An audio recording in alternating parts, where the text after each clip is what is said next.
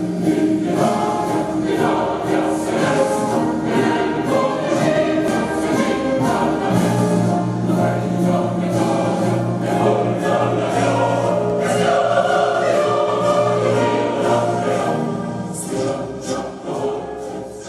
sono onorato che le istituzioni sono venute qui da noi a trovarci, come la Guardia di Finanza, i Carabinieri, la Polizia Penitenziaria e la Polizia di Stato. Questo non può che renderci onore, non può che renderci contenti e non può che farci felice, sapendo che ancora oggi lo Stato vige, cresce e si basa sulle forze dell'ordine. Questo non può che essere per noi un vanto, un orgoglio, tant'è vero che abbiamo avuto a farle un, un omaggio l'onorevole Pezzo Pane, l'onorevole Marco Croatti e il ministro Trenta.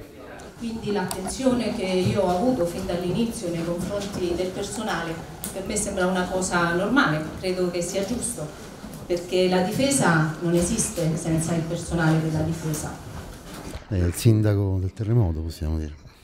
Sì, purtroppo sì.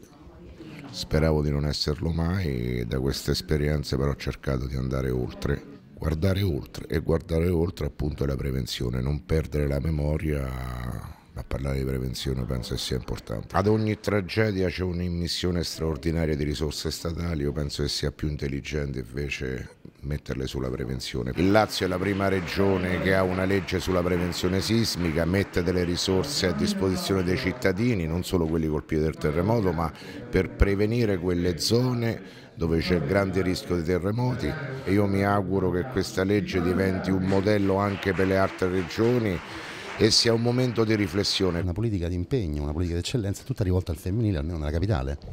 Beh, eh, sì, io lo ritengo un dovere, quindi mm, mi impegno nel sociale per quanto riguarda appunto la violenza di genere, ma soprattutto sono anche molto sensibile alle tematiche ambientali perché noi viviamo in una città molto eh, diciamo, caotica dove c'è un grosso problema di inquinamento di polveri sottili, quindi io sono sensibile a tutte quelle start-up che in un certo senso ci possono dare una mano, ma il problema è che non, spesso non veniamo ascoltati da chi amministra questa città.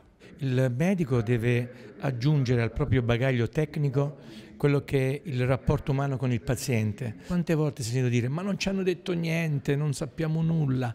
Quindi questa empatia che si crea associata eh, alla umanità, il bagaglio tecnico, si raggiunge l'eccellenza, perché i medici italiani sono dei medici molto considerati a livello mondiale. Eccellenza è una parola grossa, eh, credo che l'eccellenza sia la eh, quotidiana capacità di fare il proprio mestiere tut a tutti i livelli, tutti i giorni tutto su un focus ben preciso, eh, il momento istituzionale, se vogliamo, anche rispetto alle scorse edizioni, in maniera più preponderante. Assolutamente più preponderante perché comunque questo premio prima era una difficoltà a segnarlo perché magari le persone non ci conoscevano, oggi sono le eccellenze che ci contattano e che ci vengono a cercare per essere premiati. Per noi questo è un vanto, siamo diventati da una piccola associazione una forza extraparlamentare, una forza extrapolitica in grado e capace di influenzare le decisioni di un governo, le decisioni di una regione e di un comune.